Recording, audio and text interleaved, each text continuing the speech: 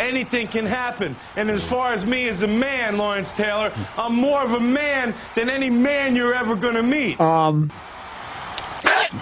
The Royal Rumble, it was just another stop on the Ain't I Great Tour. well, you would think so. But there's a missing ingredient. What? What's that? Doesn't say. You're too damn selfish, and that's why you're sitting there with a bad leg, and that's why I kicked your leg out of your leg. Oh boy.